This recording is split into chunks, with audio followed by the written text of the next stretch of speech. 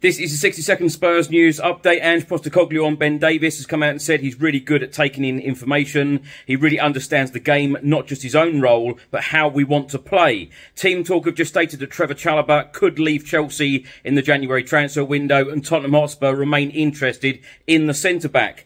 Uh, Spurs women's striker Martha Thomas on the goal against Arsenal on Saturday in the 1-0 win. She said it was a great build up. I'm absolutely buzzing.